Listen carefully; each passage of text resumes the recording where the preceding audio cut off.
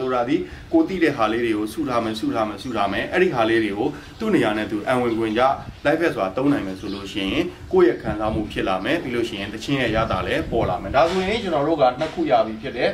လက်ခတ်ရဲ့ slide နောက်ပြီးတော့နောက်တစ်ခုကအရေးကြီးတာကဒါကျွန်တော်တို့တေယောမှာအတွက်ပါဒယန်ဆိုတဲ့ဟာရှိရယ်ဒယန်ကကျွန်တော်တို့တီးတဲ့ technique ကဖိကြွဖိဘာလဲဖိကြွဖိဆိုတော့ကျွန်တော်တို့အရင်ဆုံးဖိမယ်ကြွမယ်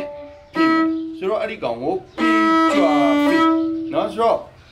အဲ့ဒီကောင်ကိုကျွန်တော်တို့က slar နဲ့တီးရမှာ fit chua fit fit chua fit no fit chua fit ဆိုတော့အဲ့ဒီကောင်ကိုမြန်အောင်ကျင့်ရမယ်ကျွန်တော်တို့က fit chua fit fit chua fit အဲ့ဒီဟာကကျွန်တော်တို့လက်အားလုံးနဲ့တန်အောင်ကျင့်ထားရမယ်လက်ညှိုးလက်ကလေးဆိုတော့လက်ညှိုးနဲ့ဆိုလို့ရှိရင်အရှိမ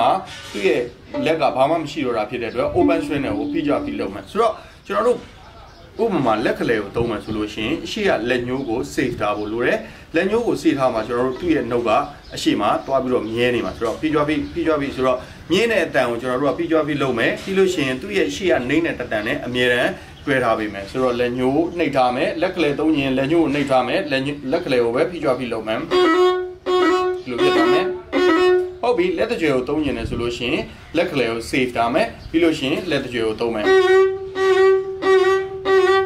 အဲ့လိုပဲတူနီ၎င်းကျန်တဲ့လက်တွေကိုလည်းအဲ့လိုကျင့်ရမယ်တန်အောင်ပြီးရင်လက်ကလေးပြီးရင်လက်တကြွယ်ဘိုးကလည်းသူ့ရဲ့ထန်ကုံသွားပြီဆိုတာနဲ့တခါတည်းရပ်ပြရမယ်တာရတရန်တရန်တရန်တာရတာရဟာကျွန်တော်တို့ထုတ်လိုက်တဲ့အတန်ကုံသွားတယ်တာရ ပြီးတာနဲ့ရက်သွားတာဖြစ်တဲ့အတွက်ဘိုးဒီဆက်ပြီးရှည်နေလို့မရဘူး no တခါတည်းဖြတ်ထားပေးရမယ်เนาะသူ့ကိုရေးတဲ့အခါကျတော့ကျွန်တော်တို့ဒီမှာ design လေးရှိတယ်ဥမာတီလို့သုံးရင်လို့ရှိရင်တီပေါ်မှာဒီဇိုင်းလေးကိုပြလိုက်ရင်ကျွန်တော်တို့ကတီကိုဖိကြွဖိလို့တီးရတယ်ဆိုတော့ဒီလိုသွားထားတယ်တစ်တွန်းနှစ်တွန်းသုံးတွန်းအလဲမှာဖြတ်ထားပေးတယ်เนาะဒါကျွန်တော်တို့သုံးမယ်ဆိုင်ပါဆိုတော့ဒါဆိုလို့ရှိရင်သူ့ရဲ့ ဟိုတီပေါ်မှာဒီ sign လေးမြင်ပြီဆိုတာနဲ့ကျွန်တော်တို့ကဖိကြပြီလို့ဒီတီကိုတီးရမှာဖြစ်တယ်သူ့ကိုတီးမယ်ဆိုဘယ်လိုတီးရမလဲဆိုတာဒါကတော့ note ကလေးနဲ့ပြန်ပြီးတော့ခွဲပြီးရှင်းပြထားပေးတာပေါ့နော်တီးလာတီးတီးလာတီးတီးလာတီးအဲဒီလိုထွက်မယ်ဆိုတော့သူ့ကိုရေးမယ်ဆိုလို့ရှိရင်ဘယ်လိုရေးလဲဆိုတော့ကျွန်တော်တို့ဒီဘက်မှာရေးတယ် staff note နဲ့ဆိုလို့ရှိရင် note လုံးလေးရဲ့ပုံမှာအဲ့လိုလေးတင်ထားပေးလိုက်တယ်ကျွန်တော်တို့ဒီ sign လေးကိုတွေ့ပြီဆိုတာနဲ့ကျွန်တော်တို့နောက်တစ်ခုပြီးမယ်ဟုတ်ပြီဆိုတော့နောက်တစ်ခုကကြတော့အဲ့ဒီဟာနဲ့ကျွန်တော်တို့ slide နဲ့တွဲမယ် ဖိကြွဖိနဲ့ဒရန်နဲ့ slide နဲ့တွဲတယ်ဘာဖြစ်သွားလဲဆိုတော့ဖိကြဖိတွန်းဖိကြွဖိပြီးတာနဲ့ကျွန်တော်တို့နောက်ကို slide ထပ်တွန်းရမယ်ဆိုတော့ဖိကြွဖိကျွန်တော်တို့ရှိမှသွားတာလေဒရန်နောက်တစ်ခုကဖိကြွဖိတွန်းဘာဘယ်လိုတီးရမလဲဖိကြွဖိပြီးတာနဲ့တွန်းဆိုတော့ဒီယန်ကြီးလို့ခေါ်တယ်သူ့ကိုじゃတရားကြီးတရားကြီးတရားကြီးဆိုတော့တီကိုသုံးမယ်ဆိုရင်တီလာတီတို့တီလာတီတို့တီလာတီတို့ဒီလိုသွားကျင်တာဆိုတော့ ဖိကြွဖိတွန်းဖိကြွဖိတွန်းဆိုတော့ကျွန်တော်တို့သုံးကျင်တဲ့ဟာကဒိုရေဒိုရေမီလို့သုံးကျင်ရေဒိုရေရေမှာကျွန်တော်တို့ဖိကြွဖိထည့်လိုက်မယ်ပြီးလို့ရှိရင်ရေမီကွေပါမှာဆိုလို့ရှိရင်ကျွန်တော်ရေးပြမယ်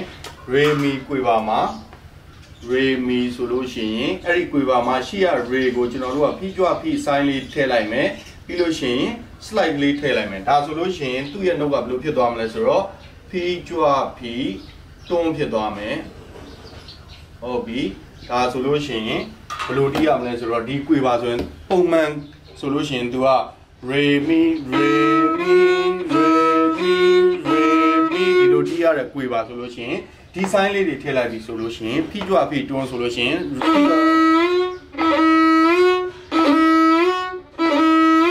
re mi re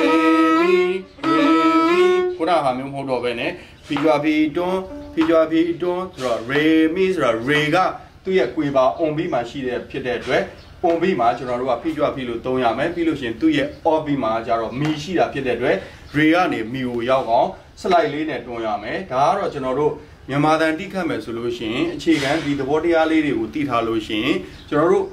ကိုတီးမဲ့တေးသချင်းထဲမှာပြီးလို့ရှိရင်ကိုတွေးတဲ့ notes တွေမှာ live ဖက်ရာတင့်တော်ရာလေးတွေထည့်ပြီးတော့သုံးမယ်ဆိုလို့ရှိရင်မြန်မာရဲ့မြန်မာအတန်မှာဆိုလို့ရှိရင်ကျွန်တော်တို့တရောရဲ့ instrument nature လေးလည်းပေါ်သွားမယ်ပြီးလို့ရှိရင်တချင်းရဲ့ခံစားမှုရတာလေးတွေလည်းပြောင်းလဲလာမှာဖြစ်ပါတယ်နောက်များကြလို့ရှိရင်ကျွန်တော်တို့ကတချင်းတွေထဲမှာ notes တွေရေးပြီးလို့ရှိရင် တီးတဲ့နီးစနစ်တွေကိုပါကျွန်တော်ကပြန်ပြီးတော့ရှင်းပြပေးမှာဖြစ်ပါတယ်ဝါသနာရှင်တွေအနေနဲ့ကျွန်တော်တို့ပထမဆုံးမြန်မာတန်တိခတ်တော့မယ်ဆိုလို့ရှိရင်ဒီအခြေခံလက်လေ့ကျင့်ခန်းလေးတွေကိုကျွန်တော်တို့ကြိုပြီးတော့ကျင့်ထားမယ်ပြီးလို့ရှိရင်တချင်းထဲမှာထည့်သုံးမယ်ဆိုလို့ရှိရင်မြန်မာတန်တချင်းလေးတွေကိုကောင်းကောင်းမွန်မွန်နဲ့အာဘယ်လိုပြောမလဲချိုချိုတာတာပြီးတော့ခံစားမှုတွေပုံပေါ်အောင်ပေါ်ဆောင်နိုင်မှာဖြစ်ပါတယ်နောက်များကြလို့ရှိရင်မြန်မာတန်